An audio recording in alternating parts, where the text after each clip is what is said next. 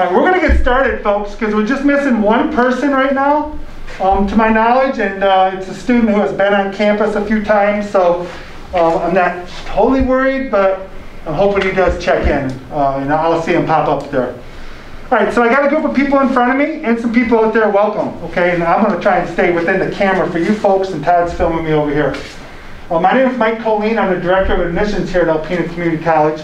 You are all here today to try and get into what we consider one of our marquee programs, our one-year certificate in utility technology. You want to be a line worker, right? Okay, and as we mentioned, some of you have been waiting on a wait list for some time, and now you're here. The time has come. So we do this every year. Typically, we do this with 60 plus people, 60 students, their friends and family. We get 180 people all of a sudden in our theater. Well, the world today, we can't do that. So here we are, breaking these up. We had a session earlier today with some students who were here on campus. We're doing this one. Everybody here who's joining us today, besides a couple, um, are students who are currently not on campus. Okay, currently not on campus. So um, uh, you, are new coming here, so we got to go over a number of different things. I typically have a um, about a 45 minute PowerPoint presentation that I do on services, policies, timelines, information you need to know in order to be a successful student at ACC. I'm not going to do that. I'm not going to do that for you folks because ultimately you're here for this but what I am going to do for all of you is I have a packet of information right here. All of you will be sent this packet of information, and it covers everything that I cover in my orientation.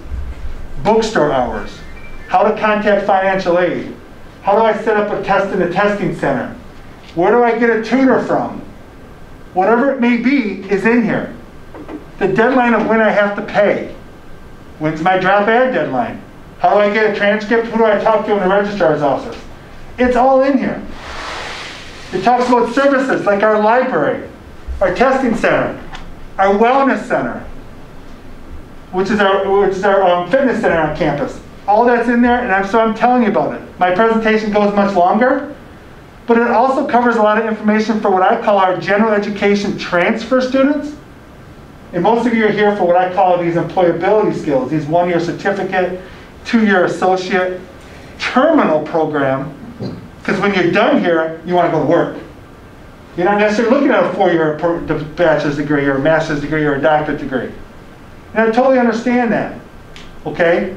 So the goal today primarily is I'm going to turn it over to Mr. Roy Smith. We have somebody here from Bashlin Industries.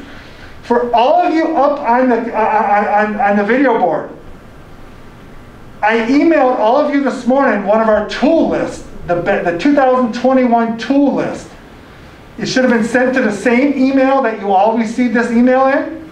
You're going to want to refer to that because we're going to go over all the tools, all the requirements, and what you need to do to make sure your tools are ordered by the deadline, which I believe the form says July 5th, to make sure they're here, all here, delivered properly for when school starts on August 30th.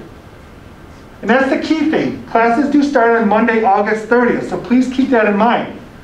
Not after Labor Day, that's the week before Labor Day.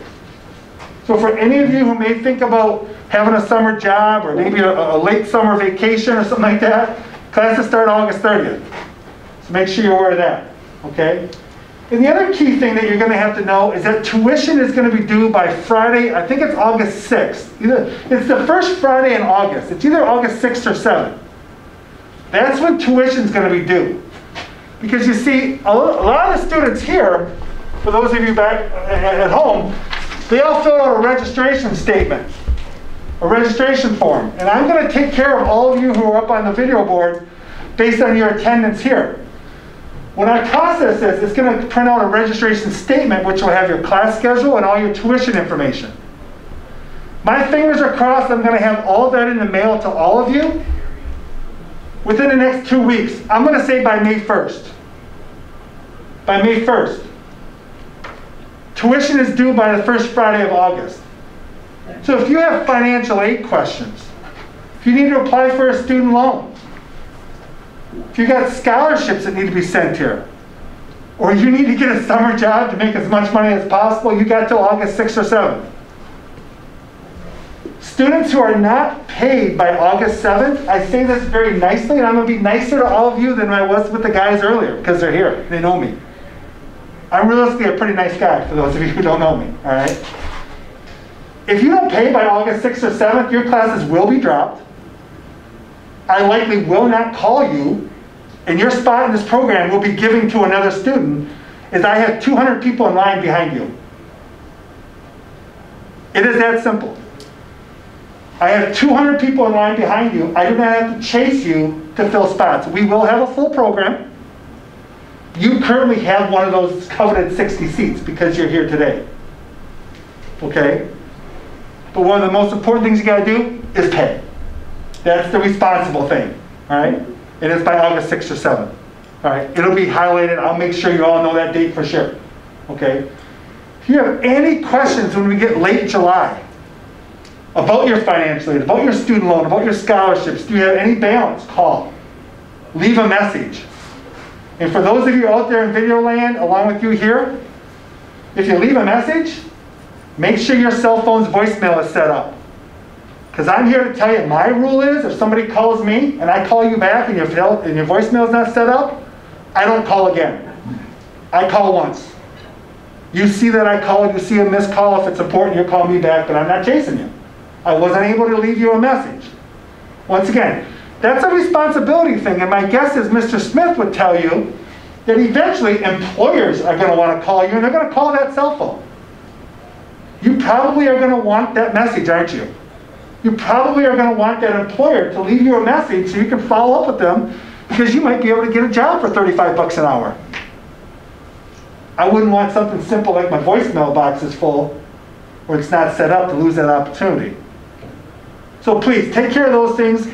We're growing up, we're getting into life now, we're becoming an adult. Many of us are moving away from home. You're coming to Alpena to go to school. We're to be, we're going to take ownership in our future. And we're going to get it done. And we are here to help. We are here to help. I have zero problem saying that the instructors that you have are some of the hardest working instructors on this campus, and they are always here. When students tell me, well, I can't find Mr. Artley, my answer is, then you aren't looking. Well, I don't know where Mr. Smith's office is. I can't see him. He is here all the time.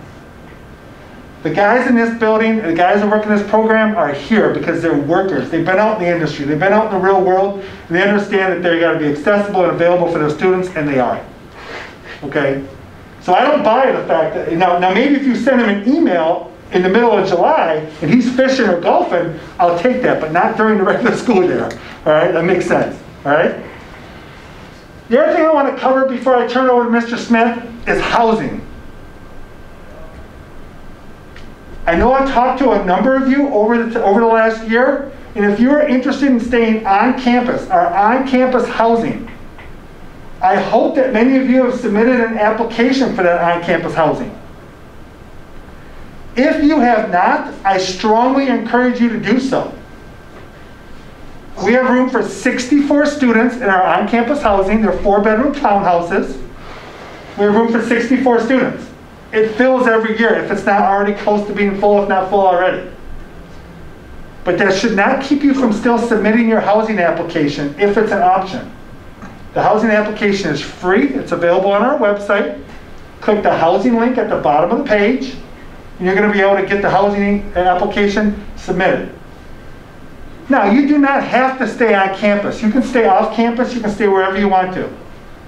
On our housing page, there is a link with an off-campus housing directory.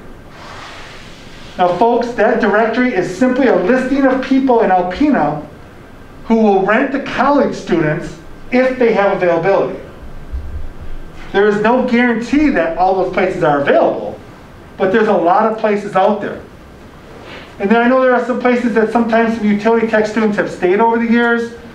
About seven, eight miles um, west of town, there's a resort out on Long Rapids Road called Norway Resort that some people have stayed at. It's a great place if you like to fish. The river's right across the street. Okay?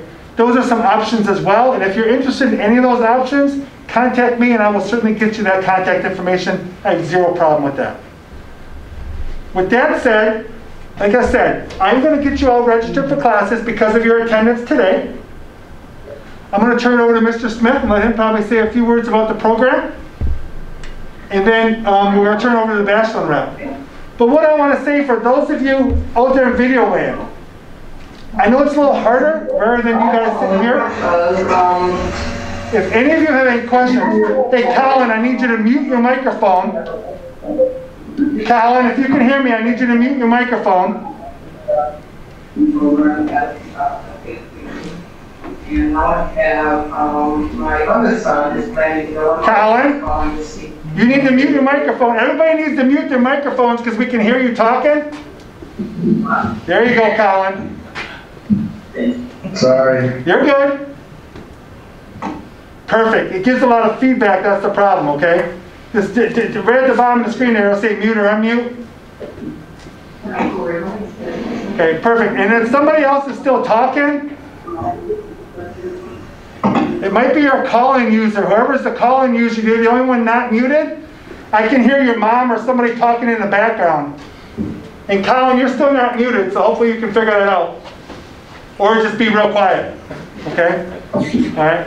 So the world of video, uh, video stuff, folks, I, I'm, I'm used to it now. A year ago, this would have threw me for a loop. Now it happens all the time, okay? So with that said, I'm gonna try and see if I can mute her, um, and go from there. But if any of you have any questions at any time, you need to unmute, ask your question. Or, um, I do have somebody monitoring the chat room, okay? If you want a question, you can put a question in the chat room, and the person will jump in and, uh, and, and, and interrupt us, okay? So with that said, I'm gonna see if I can mute you all, which I think I can. Mute all. Go. Perfect. Can you guys give us a thumbs up if you can still hear us?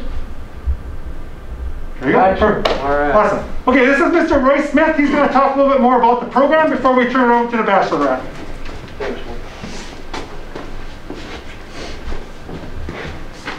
Our rule here at ACC is as long as I stay nine feet away from you, I can take my mask off, but, so I'm gonna try and stay on this side of the tables, because I'm a lot more comfortable talking without the mask on. But, uh, welcome to ACC. I know that some of you have been waiting as long as two years to get here and so on. Um, You know, this program that we've built here has gotten a good reputation. That good reputation, of course, has led to a lot of people wanting to come here and making it uh, more of a, I won't say it's a limited entry because we are an open enrollment community college, so we still go by application date and so on for, for people to get in. But I'm glad that you're here. Uh, I think you'll enjoy your time here. I hope you will. If not, if you don't enjoy it within the first couple of weeks, you better let us know because I think you probably picked the wrong occupation for you then. Because, uh, you know, you got to, to like this and want to do this. Hopefully, most of you are types of fellows that uh, like the outdoors, that like working out in the outdoors and being out there whenever you can. Uh, You know, typically, you know, guys who are good athletes and stuff in high school, or maybe uh, sportsmen that really enjoy hunting and fishing and going out in all kinds of weather to do that kind of crazy stuff when normal people wouldn't be, uh, are the guys that do really well in, in this program typically. Um, Again, Mike said, we start 60 a year, we break you into two different main groups and four subgroups, I guess you'd call it. So that you'll never have more than 30 students in a class with you, at least in the classes that are labeled APP or UTT. You know, typically, this classroom right here in a non-COVID year, we would have all 30 students in front of us in the classroom. This year, because of COVID, we've had to divide it up in two, using this VCS system where the instructor will be in one classroom, half the class in front of them, half the class in the other classroom, and bouncing back and forth. What this fall is going to bring yet, we don't know. Uh, I'm hoping that we'll be back to where we can all be in, in one group. Uh, Probably the best way for us to be assured that is if as many of you get your immunizations as you can. I'm not saying that you have to yet. I don't know what the college policy is going to be by next fall. You've probably seen on the news and so on that a lot of colleges are starting to where you've got to have the immunization in order to attend. Our college has not done that yet, uh, but I'm not sure if they won't, depending upon what continues to happen with the COVID in our local area right here, which right now isn't good. Uh, The outbreak has been, this latest outbreak's hit this area and the young people in this area pretty hard. Fortunately, not bad here at the college. I think we've had three students out in the last week Uh, But it, it it hasn't been like half the guys are gone or anything like that. It's been pretty good. Uh, So, uh, welcome to the program. Uh, I think, like I said, if you're that type of person that enjoys working out in all kinds of weather, you'll enjoy it. You'll spend about a third of your time uh, here in outdoor field classes. You'll spend about a third of your time in a lecture room like this one here, and probably about a third of your time in labs like we have across the hall over there. It's a fairly well-balanced thing. You'll get plenty of hands-on time, but you will, and there is, an academic portion to it as well. Just as there is in an apprentice program once you leave here and go to work for a utility. Now, uh, one of the things that you might have been used to in high school was 65 and survive. You know, getting that D, getting a 65% or so average and, and surviving in classes. That doesn't work here and it doesn't work in apprentice programs for the college. In uh, line work or apprenticeship programs that we work with, most of them want 85% or higher grade point average. So you need to work hard while you're here in order to obtain that and, and to keep that. You must have a 2.0 average, which is a C average, in your, in your classes in order to get the diploma and stuff from us. Okay, so it's important that you uh, buckle down, you try hard. There are lots of resources here to make sure that you're successful. Okay, besides having full-time journeyman instructors, uh, like myself as a journeyman lineman, Todd Artley, who's operating the camera back here for us, is a uh, licensed master electrician. I've been here for 26 years. Todd, you've been here Uh, 16 full-time and then five prior, so five prior, okay? And then we've got uh, Mike Adtrip and Paul Gamage, and we've got an entire retiring instructor who probably poke his head in here once in a while today and stuff, Mark Swanson, or Swanee. There's Swanee. Swanee, though, is, is retiring, so hopefully, that's what we said last year, but we were able to bring him back this year when we wound up with problems with an instructor getting ill. Swanee came back to teach for us again this year, so. About But- time. Next fall, next fall, he's made it very clear to us that he's going to be elk hunting in Idaho. And uh, there ain't going to be hell, high water, or anything else that's going to stop that hunt from going on. So um, I'm happy that he's finally able to do that. He's talked about it for years and so on. We've worked together for years. uh, And established some really good relationships with Consumers Energy and with a lot of other utilities to help you guys get employed when you get out of here. So, uh, what we expect from you is effort when you're here. Uh, You know, I mentioned before that we want you to have good grades, but perfect grades aren't necessarily what these employers and stuff are looking for either. One of the things they do look for down here is as close to perfect attendance as you can get. Now, obviously, we don't want you here if you're not, if you're ill or you're not feeling right, but what we mean by perfect attendance basically is that you show up to class on time with your tools, and for some classes, that might just be a notebook and a calculator or whatever. In other classes, of course, that means that you're on the field or in the shop at the appropriate time with your tools and equipment and ready to go. Because come November and December, we only got about eight hours of daylight up here. And, uh, you know, we're out in the field that entire time period of that there, that there's daylight. It broke into two-hour groups, 15 guys at a time out there. So we need you prepared and ready for class and, and ready to work hard. Uh, We will work with you, but what a perfect attendance also means is like out there in the field and stuff. You know, you might be anxious to talk to your buddies who you haven't seen since the Friday before when you all left and went home, and maybe you had some really good fishing or hunting that weekend, and you're anxious to tell everybody, but the instructor's over here trying to get class started. We don't want two guys over here talking and stuff, you know, not the kind of work that we're doing and the safety aspects of it and stuff. We need to have your attention and your focus and stuff with us and ready to go. So that's what I mean by perfect attendance and so on. Now, we also run it like a job. So if you're going to be absent for the day, we expect to hear that you're going to be absent for the day before you're absent for the day. You know, just like you'd have to call your employer wherever you work and stuff, if you're going to be absent, that's the way that we handle it. Okay, and again, the thing is, is everybody that's teaching here, and Mike mentioned it and so on, we worked and did this kind of work prior to this. Myself, I had um, nine years in the Navy as a electronic technician on nuclear submarines, and then two years of doing office equipment and copiers and that type of thing, and then finally got into an apprenticeship at a power company and so on. After I went to school here, I was right in you guys' seats 31 years ago. Okay? And then I became an apprentice lineman, and, and then the company that I worked for relied upon this school so much for new employees and so on, and participated in actually getting this school going, that when the instructor that was here was retiring, they placed a job opening on the company bulletin board, and that's where I saw it. I used to work for a company called Top of Michigan. It's now part of Great Lakes Energy. Uh, Four electric co-ops in the state merged to become Great Lakes Energy. And I worked out of Boyne City, Michigan, and that's where I went through my apprenticeship. But I was originally from this side of the state, Mecosta. And at that time, my parents were starting to get elderly and so on, and uh, I thought, you know, it'd be nice if I could be a little bit closer to them and- and uh, have a lot of family in this area and stuff, so I was able to come back, and now all of a sudden, that's 26 years ago. You know, so I've been here for quite some time.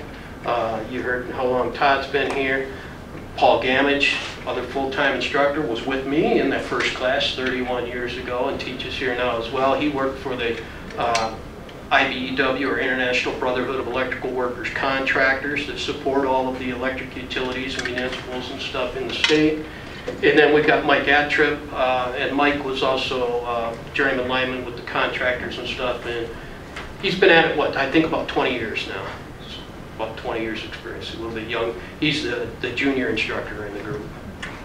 And so on. So we've been at this for a while, but uh, we've all worked out there in industry. We all got our certifications and stuff out there in the industry and have a pretty good idea what it takes. And I think this is probably about the only school like this one in the state of Michigan anyway, where you'd be having journeyman linemen or master electricians or something for your, pretty much all of your classes.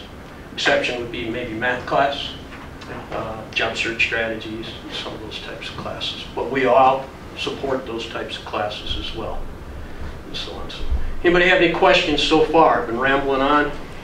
Any of you guys out there, if, uh, you know, you'd have to unmute your mic or whatever, or Mike would have to unmute you and, and, and put you in. But if you have a question or anything, don't feel, uh, don't be afraid to, to jump in and, and get it answered, because today's the day to do that as Mike was mentioning, we need you to get your, you know, classes signed up, paid on time, and that type of thing, because there is, as all of you guys know, I haven't got to go on too much. All of you have been on a waiting list and stuff to get in here, but if for some reason, you've got to be smart this next year. You've got to be smart all the time, be a line worker, but you've got to be especially smart. Don't get yourself in trouble with drugs or alcohol, period.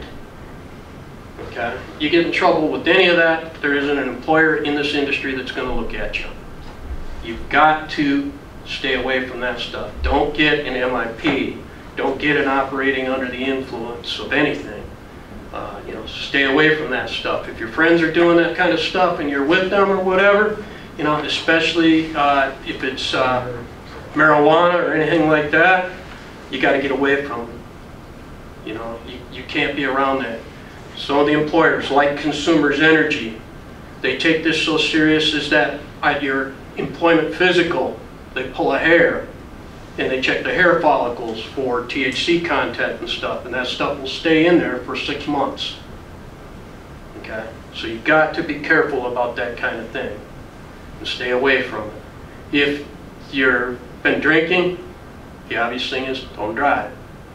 Don't let a drunk person drive you either, but don't drive. Get somebody who hasn't been drinking, a designated driver, or a parent, an uncle, a cousin, something like that to come pick you up because it's not worth risking this career. You know, every year we have students who, for some reason, that happens to. Once they're here already, they've already invested 10, 12, 15,000 dollars on their education. Get right here toward graduation time and boom, get done. Just once is all it takes. You get that ticket, get that conviction, you could be the best one in the class, best climber, best equipment operator. You're not going to get a job in this field. You've got to be able to get the, the tools to the job site legally, and that means a commercial driver's license. So, which you can get and obtain while you're here. So enough about that, enough about it. Uh, trying to think, anything we've missed here? Todd, anything you can think of? We have high expectations for you. We expect you to do well. You know, we'll just give you an example. We just had a 10-week class go down to consumers. The 10-week class is basically their last shot before they get offered a job by consumers. We sent five students down to make up part of a class. Class is 16 people. Our group, though, was only five people.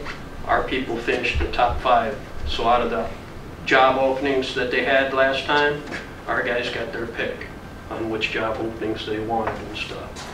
You know, we like it when that happens, obviously, and it, it, it happens on a fairly regular basis for the students who go here. They tend to do very, very well in their apprentice schools afterwards. IBEW 876, which is the local for outside linemen in the state of Michigan for everywhere except the thumb and uh, southeast Michigan, you know, the upper peninsula and all the rest of the lower peninsula. We're on campus to recruit people and so on about two weeks ago now and to make sure that they had a heads up on when they were opening the books for those guys to get on and sign up for apprenticeships and so on with them. And I suspect they'll be starting their interview processes here with them real soon. The last few years, employment here in Michigan has been very good. Employment in the region, if we were to look at, uh, you know, the Midwest region and stuff, has been outstanding. And if a student's not work, that graduated's not working in this field, it's because they don't want to. There's been job openings out there. And, uh, you know, some great job openings. Consumers an exception on the high side, $38.20 an hour to start. You know, the uh, rural electric cooperatives, a lot of the munis and stuff like that, you're looking at, you know, the mid-20s and up for the most part. So we're talking about good, uh, what do you want to call it, life-sustaining jobs. I mean, not just a good quality of life, sustaining jobs.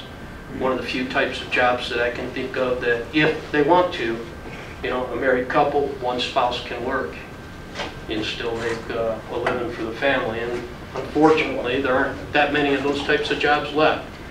A lot of them are in the electric utility industry between uh, dispatchers and system operators and uh, power plant operators and mining and stuff. We still have been able to uh, do quite well. So, you know, it's, uh, most of your linemen in the state of Michigan right now are somewhere between 115 and 200,000 dollars a year, awfully good incomes. Uh, you want to talk about the travel? They're not going to get jobs at home. Yeah, that's the big thing there. I mean, yeah, employment in this region's been good, but to guarantee you a job in your hometown, I don't think, you know, we can do that. If you're from here in Alpena, you know, we got Alpena Power Company, a rather small electric utility with about 10 linemen in the whole company. You know, you're only going to have an opening in that company once every three years or so for a lineman who might be retiring. Uh, generally speaking, when people become linemen, they stay linemen, or they get advanced in their companies within the line worker category, you know, so that uh, they don't leave. So it almost takes somebody retiring before there's openings and so on. But right now, there's a big rush of us baby boomers. They're finishing up our working years. And uh, consumers especially, but a lot of these utilities didn't do a lot of hiring for a lot of years, and this big group of baby boomers is retiring, making a lot of room for young blood to come into to the trade. And that's one of the reasons that employment's been excellent in, in recent years. Anything you'd like to add, Swanee? Okay. No, just that we have past students working all over this country. Thanks. I mean, they're out east. We have one student who's in Alaska, living his dream, doing line work. He works, what, almost like 30 days on, two weeks off, you know, with pay. But don't think that, don't put all your eggs in one basket thinking consumers or something, you know, because there's a lot of good companies out there to work for other than consumers, if you're willing to move away from home. You know, go, I tell all my past students, go where your hobbies are. You like to snow ski? Know, out east, out west, you know? Go where you, when you have time off, you actually enjoy your time off, you know? You got something that you enjoy doing, you know? Because you gotta have a life other than work. It's hard to- for me to say that. It took me a long time to learn that, because I never turned down a minute of overtime for a lot of years. But go where your hobbies are, you know? There's a lot of good paying companies, a lot of beautiful places in this country to work at, you know? It don't have to be right here at home. You know, if you don't like the snow, hey, get out of it. You know? I- My youngest son is in Kansas. They get a little bit of snow, maybe a little bit of ice, but he'll never come back to Michigan to work. You know, the days of him putting on long underwear and wearing winter boots and Carhartts and stuff, that's long gone, you know? It's not gonna happen, you know? He likes where he's at out there, but I always say, go where your hobby is, you know, whatever it be, you know? And if the hobby's the wife or the girlfriend and she's from not, not from here, you might want to go with her too and keep things happy. But, uh, No priority. yeah, yeah, you know, but, but what- there's a lot of- to what Swanee's saying. The one young man that we have that's up there, he works for uh, Alaska Villages Co-op. And they go and travel from village to village in Alaska, depending upon where the construction needs and stuff are. And, uh, you know, he's constantly sending us back pictures of him with all of these coho salmon and chinook salmon and the moose that he shot and the wolf that he shot and the grizzly bear, you know, I mean, he's, he's just, he's living his dream, as Swanee said, you know, and, uh, it, I grew up in this area of the state and so on, and I love to hunt and fish, but even in my time in the Navy, I found out, you know what? There's other places where that's really good too. You know, and even though I was stationed in San Diego, I found spots in San Diego County in Southern California that I could still limit out on trout. You know, there, there's great places all across this country to go work. You know, and I work for a smaller company. Great Lakes Energy is, is gotten pretty big, but it was top of Michigan Rural Electric Co-op. We had 40,000 customers. Yeah, journeyman lineman wage was probably a buck and a half, two dollars an hour less than what the guys made at consumers and stuff. But I loved where I lived and I loved the guys I was working with. I didn't feel a need to, to move from there. You know, and a lot of guys don't. They get into, you know, some of these or co-ops or those working for the, uh, for the contractors. The contractors right now aren't paid as high hourly rate as the guys that work at consumers. But the guys who work for the contractor, the contractor contribution to their retirement program is 26% of their income. That's, you know, that's not you putting it in or anything, that's them putting in 26% of what you make. A lot of these guys, by the time they get done with their four-year apprenticeship, already have over $100,000 in their retirement accounts. By the time they're my age, you know, they're looking at being multimillionaires. It, it's pretty awesome. So, you know, there's, there's great ways to go about it. But retirement don't mean anything if you don't have fun along the way. And I, a guy who did was Swanee, you know, you gotta have fun during your time off and stuff. Man, when I was raising kids and I had those expenses and stuff, I worked, you know, all the overtime I could too. But, you know, comes a point in life where that overtime chasing and making the great big money isn't as fun as it used to be. So, so, okay, uh, anything else? I think covered pretty good. Swan, Todd, Mike? Questions, guys? Yeah, if there's any questions, like I said, for those of you at home right now, I did email you the tool list. You're gonna wanna pull that out or look at that as they're going through here. So I'm gonna turn it over to our Bashlin representative. And uh, I can play with the camera to get him a little more on the camera. We also have one of our current students, Brandon Buckmaster, who agreed to be model for this. Although he seems to be, no, he's got them on, okay. I was thinking he was missing his gaff guards, but that's only because he's not wearing bright yellow ones. He's got his gaff guards on, uh, and so on. But uh, we'll talk individually, right down the list, pretty much about all the tools and equipment. The one thing I do want to say about the tools and equipment and why we have Bashlin here is 31 years ago, Bashlin came here. And they uh, came right to class and so on. We made the offer to lots of different tool companies and stuff, but Bashlin's is the one that's been here every year with the manufacturer's rep, with great prices, and they also come then in the fall when they're issuing and you're getting your tools to help you get the tools right, making sure they're properly sized, making sure that you get everything that you've ordered, and if anything is wrong on your order, they've made the correction and gotten the person the right stuff within a couple of days. So, you know, it's not often that we find that type of, that level of customer services and stuff nowadays, and uh, that's why Bashlin's is here.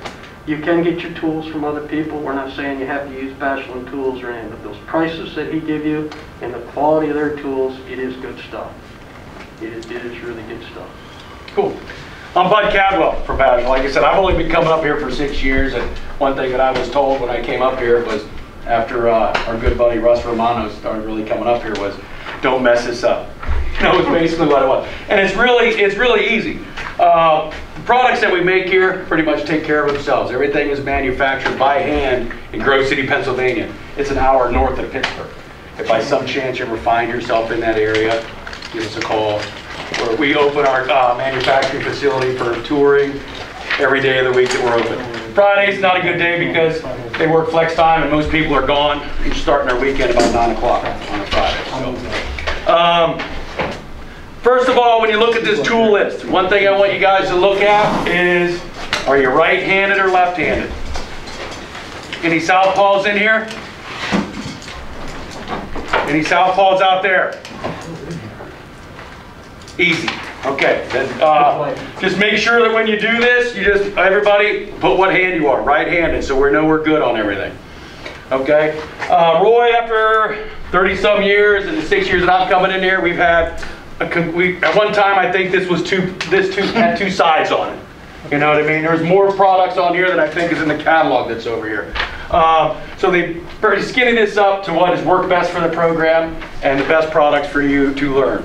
The first belt that we have on this list is going to be the belt that, what's your name again? Brandon. Brandon? Yeah. Brandon is wearing here. It's just four D-ring stack belt, uh, ton of buckles on the bottom, all leather, leather lining. That's one of those things where you don't skimp on that. We talked about don't want to be cheap on something. be- Don't be cheap on your hand tools and the tools that get the job done for you. Leather, I've always been a big leather fan. Leather, wipe it down, clean it. I mean, you, how long have you had your belt, Roy? I mean, I'm sure you probably got one of the ones you started. It might have shrunk, but Yeah, well, actually, my original belt is still over there on a loaner for students and stuff because my butt grew since I went here. But that was 31 years ago, and that belt's still in service, so. So, I mean, that was just one of those things. I mean, these guys bought these for one time. They were spending their own money like you guys are. Spend good money, get good stuff. The only difference is belts back in that era only had two D-rings. It was what we call the free climb era, when we didn't have to wear fall restraints and stuff when we went up and down poles or towers. But that all changed in April of 2015, and now fall restraint belts are mandatory, and for good reason. And it has eliminated a lot of the falling injuries that used to, to, actually, it used to be falls that killed as many or more linemen than uh, electrocutions did.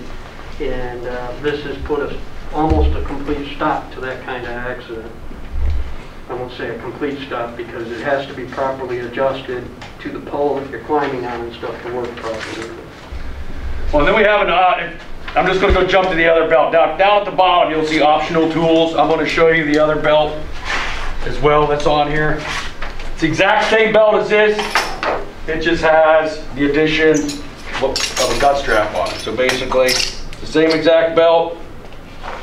This one just has an extra quick release buckle on the top that you can adjust at. A little more support in the back area. Uh, Works really nice, especially for those of you maybe that have a longer torso. Some of the guys that are shorter in stature or whatever, that without the longer torso might not want it, but, uh, you know, it can be nice to have the extra support. I like it because if I need to bend over and get something, it's easy for me, you know, but, uh, so basically, like I said, they're exact same belt. Um, whichever one you guys decide to go with, they're gonna fit the same, feel the same, so. Now, the second thing that's going to be going down the list is going to be your secondary rope lanyard, which is what he has here. That is going to be what you're using when you make your transitions over an obstacle. In, in use with this. This goes over the top, get safe over your obstacle, then you'll disconnect your fall restraint, take a couple steps up, go back into your fall restraint, disconnect your secondary, carry on with your climb, reverse that on the way down. Okay, what that does, that gives you your 100% fall protection. So if you do fall, it's minimal, you're not making impact with the ground. And technically, you shouldn't go anything more than two feet. Most places now are actually requiring that when you get past your obstacle, you go back into your fall restraint, so you don't have that tendency to maybe go a little bit higher than what you would. It's a good habit to get into. So then after that, the climbers. They've all specced out our Bashlin aluminum climber. We've been making this since before you started. Roy still got his original pair too. This has been basically our best seller for all time.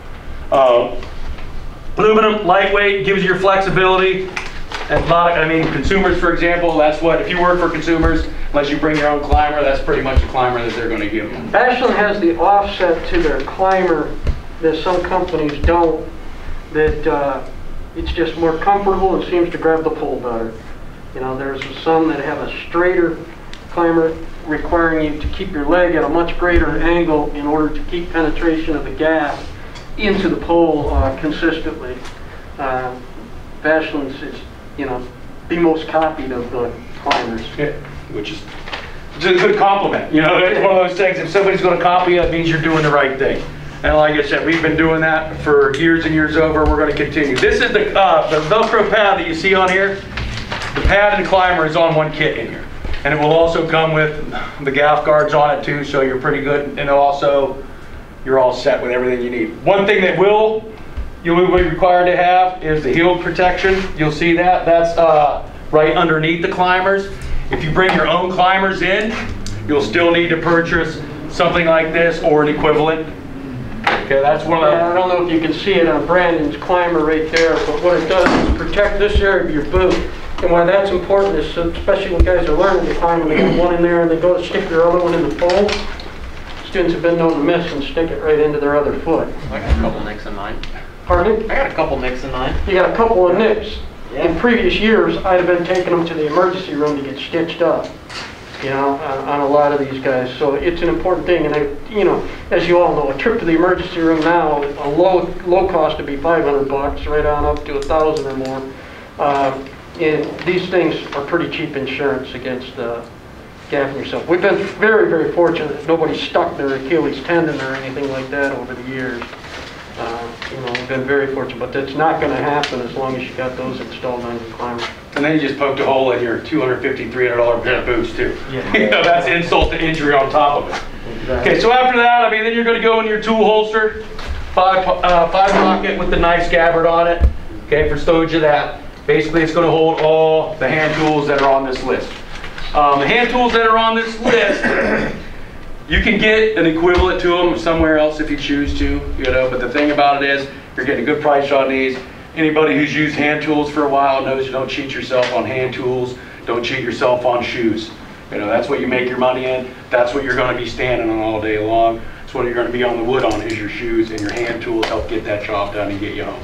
You know, so, uh, so then we're gonna, after that, we get into tools, you've got nut bolt bag, plain Jane, they've always used this one. There's alternatives out there. If you want to look on our website, call in, talk to Stacy, or even myself. Stacy uh, Hockenberry's information is on the top. She does all the, handles all the accounts for here. So if you have any questions on pricing, whatever the school pricing is for here, we turn that into uh, any other product you want. Like we have a one with the uh, magnet on that everybody likes, the magnet nut and bolt bag just call her and give her exactly what product number is. She'll give you what student pricing would be.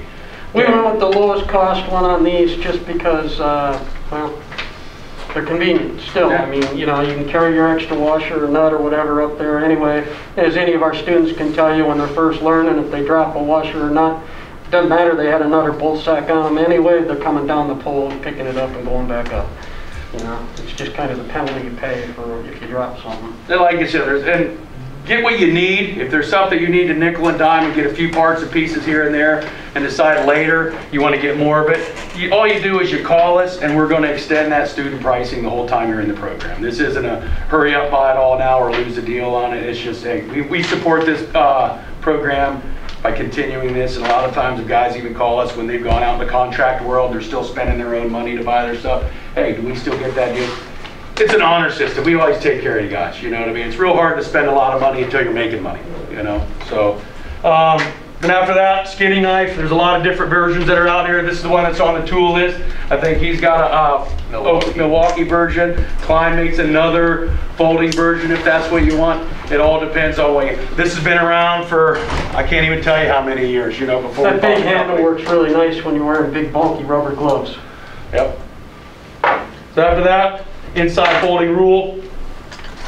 You know, it fits down in your holster here. It's a necessity to have too. We don't want anybody up there with a metal tape. Uh, lineman pliers, like I said, these are the things where you get into, okay, what is it, just for example on here, 33 bucks for a pair of these pliers, that's, you know, you're not gonna beat that price on there, so spend the money on them. Anything else, when you get into something that isn't designed for this trade and you try to use a tool that's not designed for it, you're gonna cut something, you know, you look at your jaws, you can see daylight through them, you got nothing left in there. So then it's just become a hammer. Um, channel locks, channel locks you'll use on a lot of different applications here. Demo screwdriver. The demo driver, the only difference between that is it's got the metal cap that goes all the way through. So when you're driving it into the uh, hole, which a lot of guys say they do that more than they actually turn screws with it, you're not damaging the screwdriver itself. So Use that to help prevent a hand line from sliding down a pole and stuff like that, so, you know, it's pounded into the pole more than it's used as a screwdriver. crescent wrench somewhere. Standard 10 inch. And the only thing, this, this is just a Klein version, it's got a, uh rubber coating on the outside of it. Any crescent wrench you got will suffice. Uh, hammer, this is a waffle face hammer. Roy likes the waffle face for driving stables, you get more bite on it. Um, the other thing is, is that don't get, you can get any hammer you want to, really, no metal shaft on it. That's the only thing they ask for. So, you got a hammer laying around at home, feel free to use that. Hard hat, we they got the uh, ball cap version on here. A lot of guys use the wide brim. This is what, if you order everything just off of this list, this is one you're gonna get. If you want a wide brim one, once again, call Stacy or myself. We'll give you the part number change it over to what that is, and then we'll give you the pricing on it too. Uh, bug wrench. If you've already got a hard hat or you get one given to you or something, as long as it's a type E, has the electrical rating on it, you can bring that hard hat and use it. I tell you what, nobody complains about having this on, on them, do you? No? You know what I mean? So it's just, what can you say about it? Ratcheting wrench, open it, you know, so it's a through wrench. Um, Handline carrier. I tell these guys, I mean, we throw one in, one in here for you. If you want another one, buy another one. These serve a purpose. Anybody who's been around knows the purpose behind these. We have that conversation. This is designed for going up and down if you're carrying a handline or anything that you want to have on here. If it were to get snagged on anything, 15 pounds of pressure will open up and put that on the ground instead of pu- pulling on you and pulling you into a bad spot or pulling you to the ground. Not so much now that you've got your protection on, but that's a, be another problem. Something get fouled up and out, like we were talking about with a rope, a flyaway rope getting caught by a truck. It pulled him off the pole. It's not gonna pull you off the pole, it's just gonna rip, and the truck's not gonna know, or any vehicle's not gonna know that they got a hold of you. So, then you get into your gear bags. Typical, uh, standard gear bag that we utilize has always been this one. This has been around since Roy has started here, minus the strap. He never got the strap on it. Mine was canvas instead of the whatever material. it Yeah, poly now. It's got a rain flap on it, so inclement weather, unroll that, um, roll it over. Shoulder strap's really nice to have. It just takes all, I mean, it's a pain in the butt trying to carry these things out, out here like this, especially for a small guy like me. Now, thi- this one here is your other option, it's down in optional tools.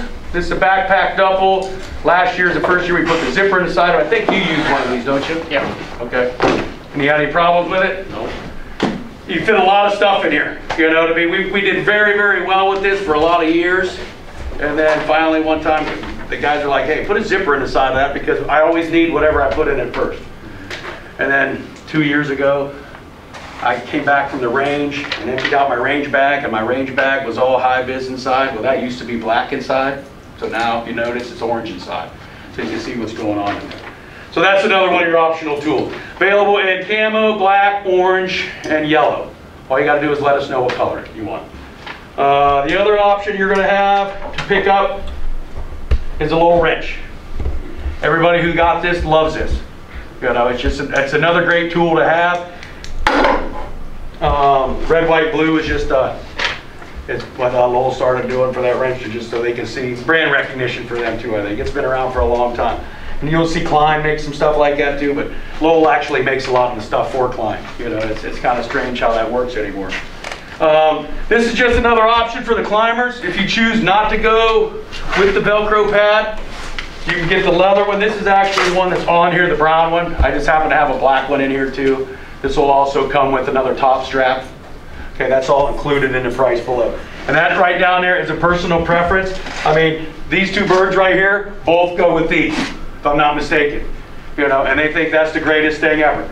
You know, there's a lot of guys out there who are- go the opposite way and they think the Velcro's are great. So that right there is maybe if 20 years ago they had a Velcro pad, it might be different, you know, but for the past three, four years, Velcro has been kind of going past your, your old strap pads. So that's just, once again, personal preference and what you want to spend your money on, you know? Um, one thing you will see on here too, I want you to, everybody pay attention to especially, July 5th is when we need your orders in, okay? That's because all of this stuff doesn't, we're not just sitting on a shelf somewhere. Hand tools, we don't make, we order all this leather goods or even the climbers, we manufacture all them in Grove City. So, I mean, here's a prime example. It takes about a month, believe it or not, to make a uh, set of climbers. By the time we mill, because all the, the gaffs are all hand milled, all the machine work is milled, all the heat treating is done in-house, and we send like a, we send them out, get them inspected, re-inspect them, and it's, it's a lengthy process. So, that's why we ask for that extra little bit of time. Um, also, I always say this, you're more than welcome to have this stuff delivered to your home. I, we have always had a great, great idea, we always get it shipped here. Because then, when I come up here the day before actual tool day and I go through everybody's order form, I put all of their stuff together, I make sure that everything they ordered is accounted for in that box. If it's not, we're on the phone, we're getting that rectified.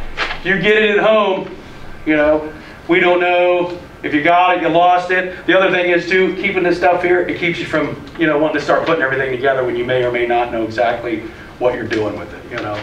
So, my advice, send it here. Let, let, let us deal with the storage and putting it all together for you. Um, And save you some money on sales tax. Yes, that too. Which is always, saving money is the most important thing at the end of the day. Um, other than that, guys, that's really all that I can say about it. Um, we're going to size everybody. You guys who aren't here, one, one good way to start out to measure yourself is to take your, uh, come, come on up here, Roy. You can stand up here and be my best way to, first of all, see how Roy's wearing his pants? In an old-fashioned style, up around his waist. Right, Roy, back up a little bit, because he's right in your way. See, you see yourself up there? Oh, very good, yeah. Okay. See how Roy's wearing his pants? Waist on his waist, not waist down here. Okay, that's how you want to wear your pants. If you wear a, a 34, a good ballpark to start yourself out would be minus 10. So that would put your D size to right around a 24. Okay? Now, if you got a different size behind or things like that, body shapes will alter that just a little bit. So I'm going to show you a quick, easy way to measure yourself at home. You may or may not, here you can go ahead and do that. You may or may not have one of these, it's called a seamstress tape. They're like three bucks at a, uh, any hardware store if you can find one. What I'm looking for right here is my hip bone. You wear this thing down here on your butt, going from hip bone to hip bone across the top of my can. Turn around here. See where he's at right here? He's not down here and he's not up on his waistline. Okay? So now, right there, what he just did, he pinched where he was at. Now what's your D size? 23. Okay? If you don't have one of these, you can do the same thing with uh, a string or a small hand line. You know, you can run that around here, pinch where it's at, lay it out, measure it. Okay? When in doubt, give us a call and we can have a conversation, make sure we walk you through on it too. Right on the hip bone though is where you want it, you know, where your hip bone is here and here. That's where them D-rings have to stick straight out. If you get one that's too small, your D-rings are back here, you don't have as much control and it tends to slide around and be uncomfortable. You get it to where they come in here, it squeezes your hip bones together or your, your, your pelvis together and you wind up with a very sore pelvis area at the end of the day. You know, when it fits properly right off those, right off your hip bones, you can be in your belt most of the day and uh, not to be too uncomfortable. Did we make a video for you last year for that or no? I can't don't remember. think so. I can't remember, but, and, and that was the thing too, last year, we didn't even have any of this as far as orientation goes, and we were right on the money with everything. I mean, I think we swapped out like maybe, um, four or five belts. The cool thing is, is Buddy brings extra belts in the common sizes with him Yeah. too. So if we goof by an inch or so, he's usually got, you know, unless you're one of the biggest guys in the class or the littlest guys in your class, typically he'll have an extra spare or two with him. Yep. So, and like I said, so generally, and like you was saying earlier, generally, if there's an issue, we handle that right off the bat. It's a priority. I mean, it's, okay, we gotta have this belt up. So they'll get started on it. If we don't have it stocked, they'll get started on it before I even leave here. It actually takes longer to get here than it does for us to get it manufactured for the school up here, because you guys are so far off the beaten path, you know? Which is, I love it sometimes. That's why I like coming up here. But, It's hard to get, harder to get in trouble in our town because the police station's like, uh, two blocks away. It's moving. The jail, yeah, unfortunately, the jail and the police station's moving, so we won't have quite as much cop traffic as we used to. Because in order, you know, the state boys, the sheriff, the city police all took their guys to the same jail, and they'd be by here all the time. But, uh, you know, we do have police right on, uh, right on campus most days, one officer, but, uh, and it's not, I mean, a city officer, not, not a, a college officer. But, uh, very safe place to go to school and so on, you know, you have a hard, you gotta work at getting in trouble in Alpena, uh, for the most part, because the state's, you know, 8 PM, town's dead.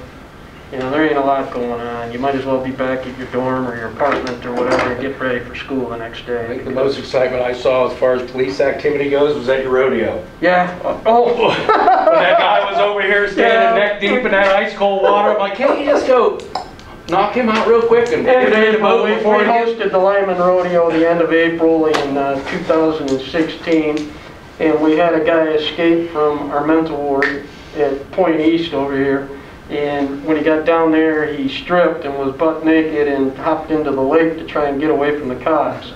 And so we had cops all over the college property. on the oh, other Nobody's side. watching the rodeo. We got like three, four hundred people watching the Lineman Rodeo going on, or, you know, hundred and something participants, and, uh, they're out there fishing this guy out of the pond across the way. It was pretty funny, actually. Probably the biggest event that happened in Alpena in quite I'm some time. I'm old, I'm old because I, if that would have been me a long time ago, they just jumped in and got you and drug you out kicking and screaming, but. I guess one piece of equipment we mentioned briefly, but we haven't talked about a great deal, is obviously you're gonna need clothing for all types of weather, yeah, and a good set of boots that are appropriate for line work.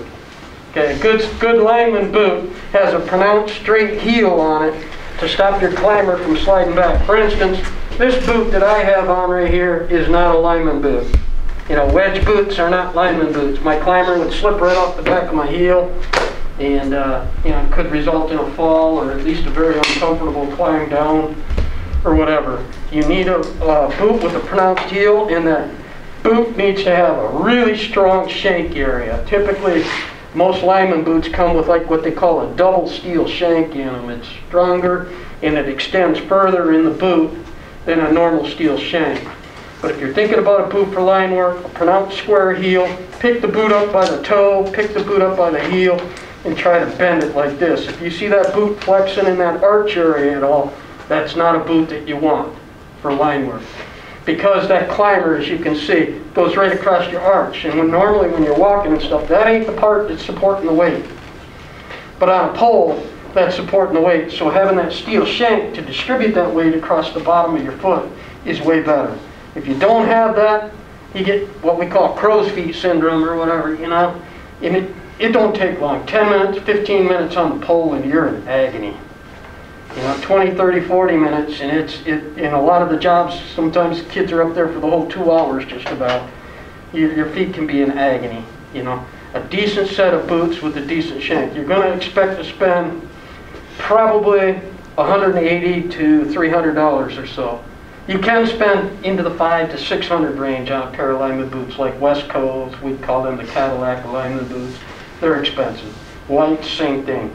But you can find a good quality, uh, Halls, Hoffman, uh, there, there's different companies out there, Chippewa, a few more, that make a nice lineman boot that uh, will get you through school. And you might want to consider um, even a winter lineman boot for when it's extreme, not extremely cold, but when it's cold out. And it does get cold here, believe me. Uh, you know, and there are felt pack boots that have the extra sole built in them and stuff that are the, that Hoffman makes that are nice. But, uh, spend your money on a, on a good pair of boots to, uh, for climbing. Uh, you know, again, you look up lineman boots, you'll see names like Halls and Hoffman and Westco and Whites and uh, sometimes if you, guys got a little bit of time right now, you can look out the closeout deals sometimes online too when they've got a particular model that's they're selling out or whatever. You sometimes can pick them up at a really good price and so on. And Halls does a pretty good job too. They have another offer on there where it costs you a couple extra bucks, but it also guarantees your fit. You know what I mean? Where if it's the wrong size, it'll carry the return shipping to get you the right size. Last year, I don't know if they're gonna do it again or not, but Hoffman Boot Company out of Kellogg, Idaho, gave a special discount code to me for my classes. And, uh, it wound up being a considerable savings on a, on a good quality boot as well.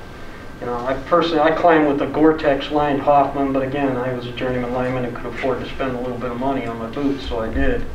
Because when I first started, I had Sears and Roebuck lineman boots. And, uh, I was up in the air when the heel fell off my boot when I was climbing, and climbing down without a heel on your boot uh, was a little bit tricky. Especially they were free climbing then too, so you had nothing else. I don't know why I had a bunch of drywall screws with me on the line truck, but I did, and I was able to reattach my heel down through the insole of my boot and stuff to get through the day. And and, uh, luckily, and this was, uh, I was an apprentice and had three daughters and not a whole lot of money yet.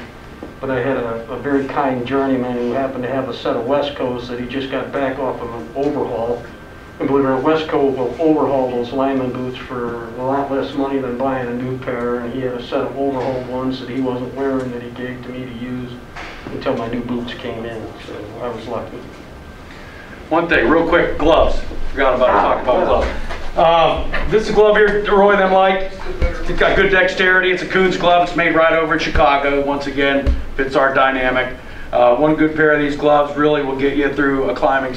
Hopefully get you through most of the year. You guys probably noticed, and I didn't tell you to do that, but we should have. Yeah, oh yeah. When we took your belt measurements and stuff, I took my wallet out and stuff. If you want your hip bones and stuff to last a lot of years in this like, occupation and stuff, you don't have a bunch of stuff in your pockets when you put on your lineman belt.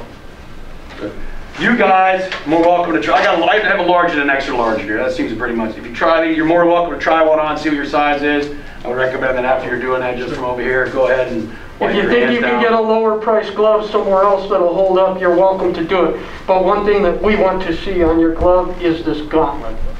Okay, this longer gauntlet because we're using and grabbing the backside of the pole a lot when we climb and stuff. Having the extra gauntlet protects your wrist area and stuff from splinters. Because you guys will see our poles out here, after we've done them, a lot of climbing on them, look like they've been attacked by deranged porcupines. You know, I mean, there are splinters and stuff all over those things, and I, you don't want one of those in your wrist. I've been there to the emergency room when they're taking those out of guys too, and that ain't much fun. And like I said, we'll size everybody who's in here. Um, like I said, you guys want to watch how we're doing it, I mean, you're more than welcome to.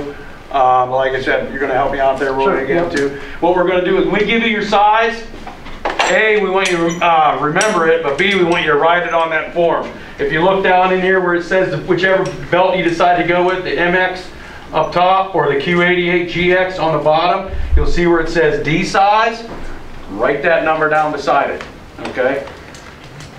And if you have any, like I said, if any questions that come along moving forward, feel free to contact us at all, anytime you need. The thing about it is, some guys are talking about getting different stuff, um, pricing wise, you can't check them prices online, you just have to call us. Because it's a special code just for you guys, so. Todd just mentioned to me too, that I might want to mention to you guys the importance of uh, keeping health insurance. You know, if you're on your parents' policy and can stay on it while you're in school and stuff, that's great. Uh, You know, it's infrequent that accidents happen, but accidents do happen. Underground cables, when we're working in there, we usually get a bleeder or two every year where somebody slips with their knife and has to go and get stitched up and stuff, you know? And uh, ha- having insurance can obviously save you a lot of money. You know, if you were to uh, fall and, you know, like I said, if they're adjusted properly and stuff, you can't fall more than two feet. But we've had guys come down just a couple of feet. But because they get going a little bit and stuff, and then the, the number one tendency when you're a brand new climber and you start to fall is to grab the pole and hug. And you fill yourself up with splinters, or I've seen guys go to hug the pole so hard that it sounds like a woodpecker, but it's only usually just one big clunk. You know, and I've had the bill of their hard hat go to, into their safety glass, and their safety glass go into their eyebrow. You know, and split their, just like they got a good punch in the eyebrow. Cool thing is, your eyebrow grows back after they shave it off to stitch you up, and you can't even tell you got a scar there. But, uh, you know, I've had guys, so keeping health insurance and stuff, if you can, or having health insurance can be real important. Just to cover for any, any catastrophic thing or any injury that could occur. This is for the, on- the guys who are watching us here too. Go to bashlin.com. You can cross-reference everything that's on that list. You can look at an actual picture of it up close on our online catalog, okay? So, And they have videos that describe the use of a lot of their tools and so on as well. yep. You guys here too, before you leave, there's catalogs over here. You want to take a catalog, and say, hey, this is actually what I'm getting, or I want to sub, uh, substitute A for B, that kind of a deal. Makes it a little bit easier for you, so. Okay, so everything out of your back Yep. pockets and so on will get you measured up for your belt. If I could just jump in and wrap it up for the people online up there. The biggest thing I want to tell people is that come this summer, I'm here all the time, Mr. Smith's going to be here a little bit this summer. If you have questions about tools, I am not your tool guy. What you waist? I do not have, que- I do not know. You have to contact Bashlin, contact Mr. Smith. So with that said, the orientation is pretty much coming to a close unless anyone up there has any questions. Um, you just simply have to unmute your microphone, and we will be getting you your registration paperwork and all your orientation uh, packet in the mail by May 1st. It'll all be to you, and if you have questions once you get it, let me know. For any of you who've got college credits out there, make sure you have your college credits sent to me, sent to the college, so we can have that taken care of as well. So, if you have any questions, feel free to ask. If not, you can feel free to go ahead and leave the meeting, and these folks are just gonna get measured for their tool belt. You have a question up there, Henry? Or you saying bye? I was just saying bye. All right, all right, thanks. All right. All right, bye. All right, thanks, Henry. Okay. Hey, Mike. No. What, Yeah, Colin?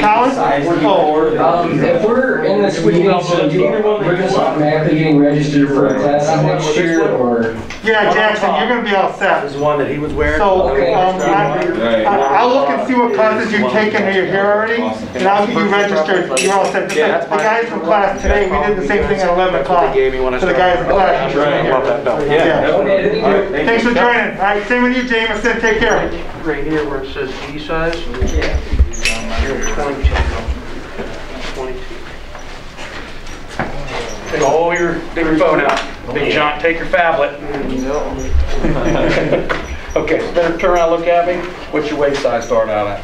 Ryan, if you got a question, go ahead and just jump in.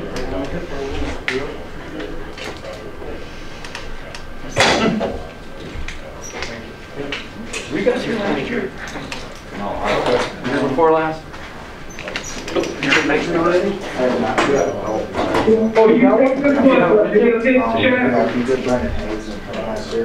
Twenty. Yep. Did you have a Nice question for us? t-shirt. Where'd you find that? You must have did something good. I'm a, I'm a lineman for uh, Folk Communication. Oh, okay. You got a free shirt already? Yeah, Do you want measured? I already have a phone. Okay, you got it. You're good then, okay. Who's next? Where you starting out at? Anybody else